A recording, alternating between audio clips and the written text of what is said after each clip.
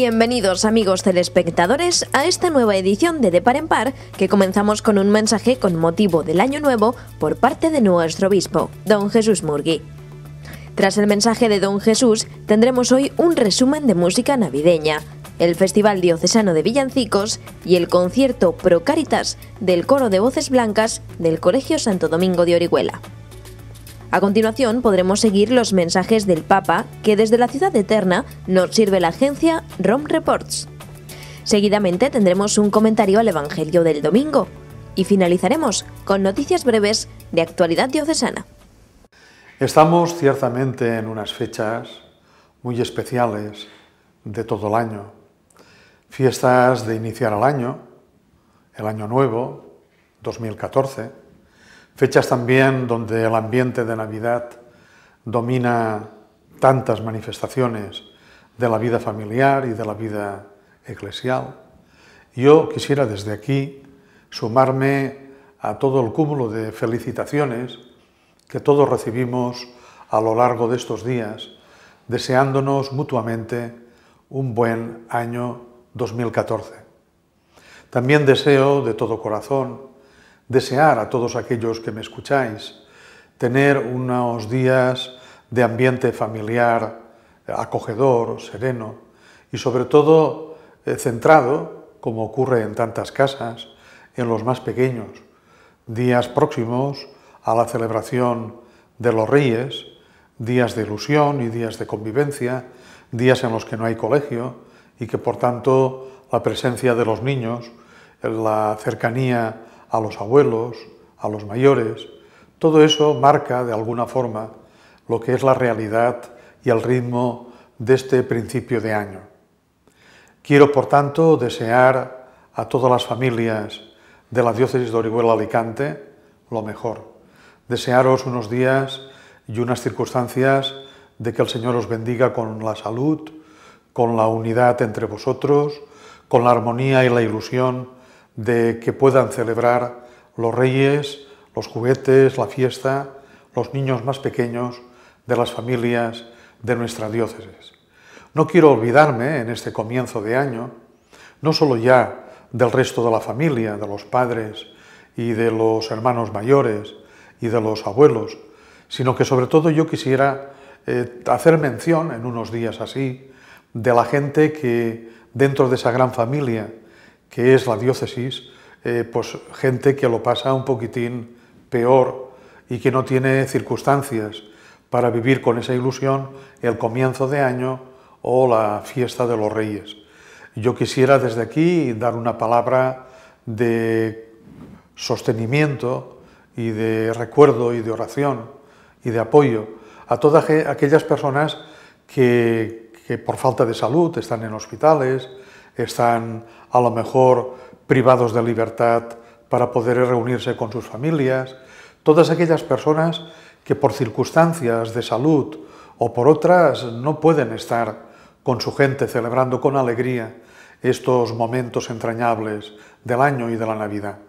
Igual que quiero hacer memoria y recordar a todos aquellos que por prestar un servicio a los demás no pueden estar presentes como quisieran con sus propias familias, la gente que trabaja y que sirve como médicos, personal sanitario o auxiliar en los hospitales, en las residencias, en los transportes públicos, los taxistas, toda la gente que tiene que prestar un servicio en una farmacia o en la policía, en los cuerpos de seguridad o en tantos servicios, tantos servicios que requieren que uno no pueda estar con los suyos en fechas tan entrañables.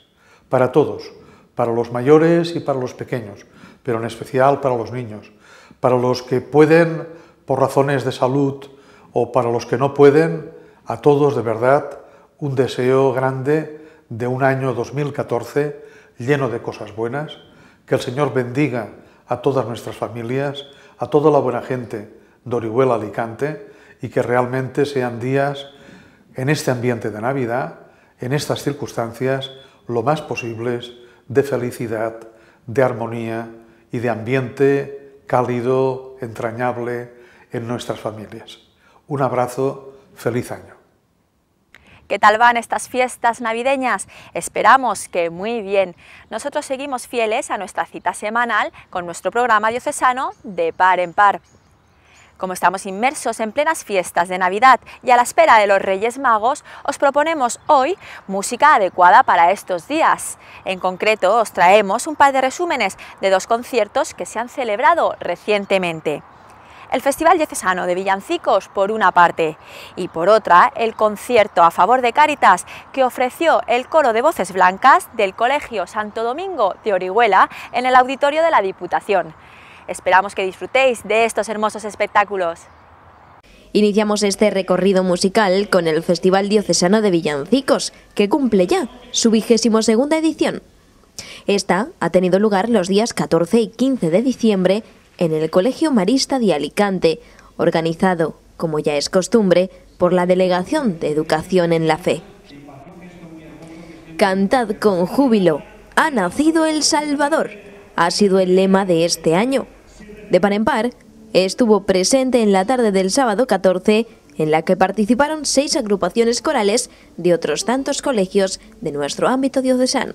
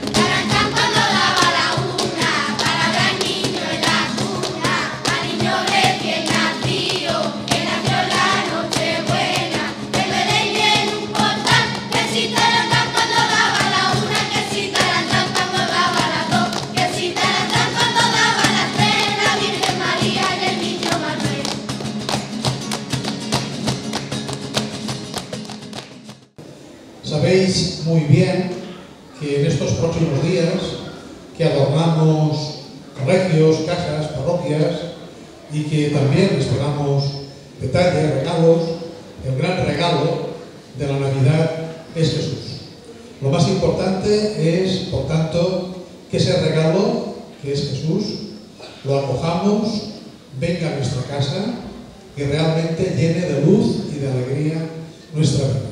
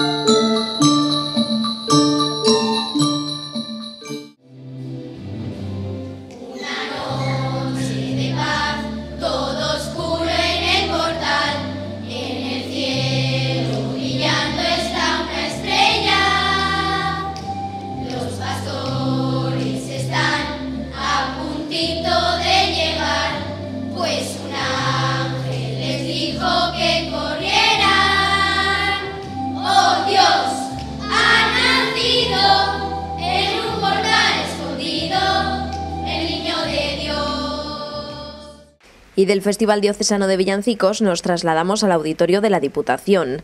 Allí, el 13 de diciembre, actuaba el coro de voces blancas del Colegio Diocesano Santo Domingo de Orihuela en un concierto en favor de Caritas.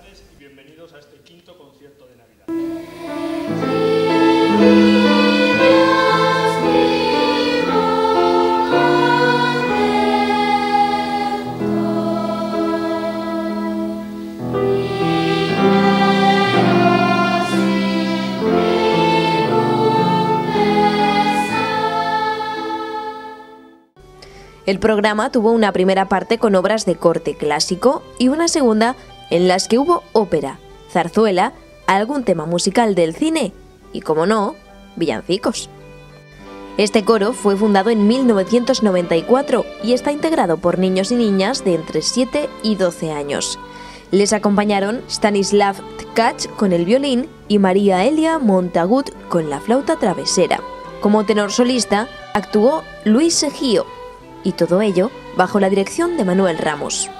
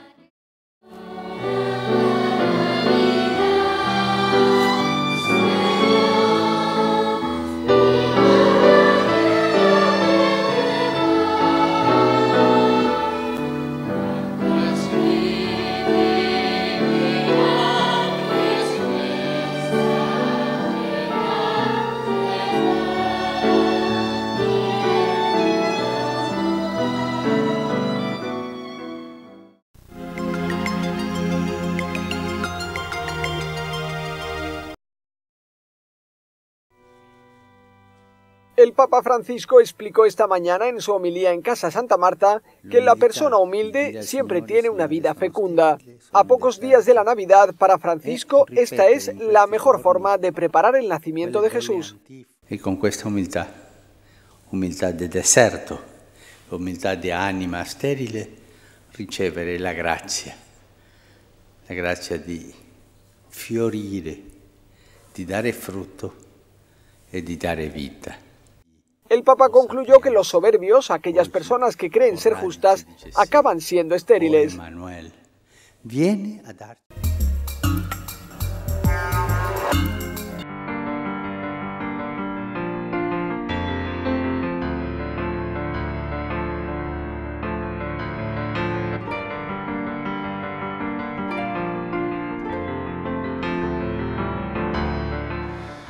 El prólogo del Evangelio de San Juan, en el domingo segundo de la Navidad, al igual que en el día del nacimiento del Señor, nos proclama que la palabra se hizo carne y acampó entre nosotros. Es la palabra con mayúscula, el Hijo de Dios, que existía desde toda la eternidad junto al Padre. Es la palabra que ha tomado la humildad de nuestra carne y se ha aparecido a los hombres en el mundo. Esa palabra es luz, pero los hombres muchas veces preferimos caminar en las tinieblas y no acogemos suficientemente esta palabra que viene como luz para el mundo y para nuestra vida.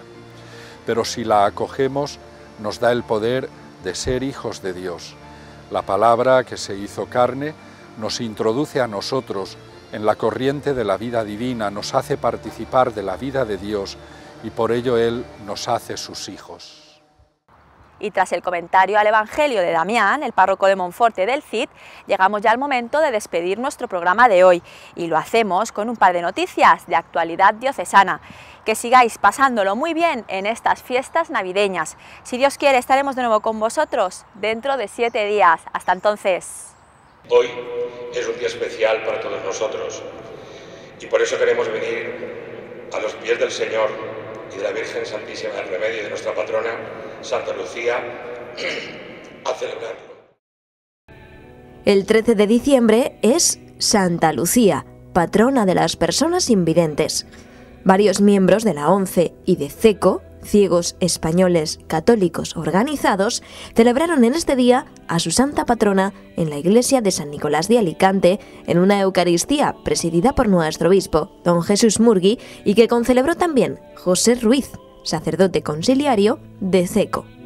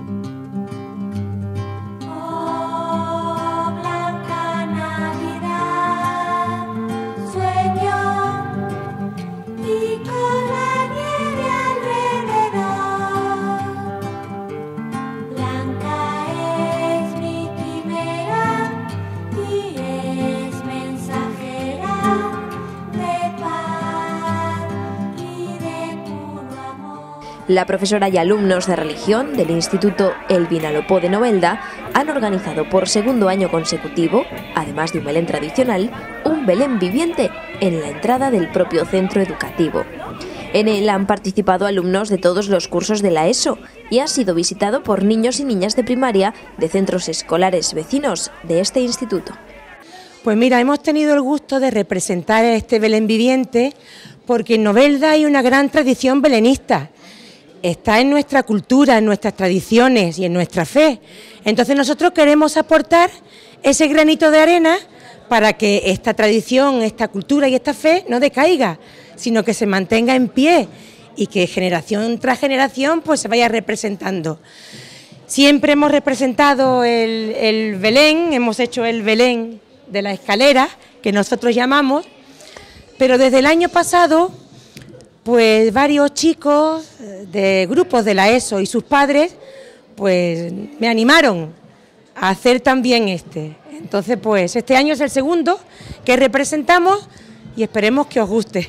Sobre todo van a participar eh, chicos de primero de la ESO, que son los que forman el coro, cantamos villancicos, chicos de segundo y tercero de la ESO, que son los que van a intervenir en el Belén Viviente, y después cuartos de la ESO, pues también ayudando a montar todo el Belén, en fin, que ha sido un conjunto. También tengo que dar las gracias a los profesores, conserjes, directivas, módulos que me han ayudado muchísimo, porque ha habido bastante trabajo. Pues van a venir, nosotros tenemos tres, dos colegios adscritos aquí al instituto. Entonces los sextos, para que ya se vayan haciendo un poquito con el instituto, que el año que viene ya estarán aquí, pues han venido. No solamente representamos nosotros el Belén Viviente, hay muchos, muchas actividades, muchos talleres, hay después unas chocolatadas y también vienen dos, un centro infantil del Alfonso X el Sabio, que es uno de nuestros colegios adscritos, viene un centro infantil también para ver el Belén y también la guardería que está aquí también al ladito, Niño Jesús. Entonces, pues los acogemos a todos y hacemos la representación pues para unos 300 chavales. Y feliz Navidad a todos. ¿Dónde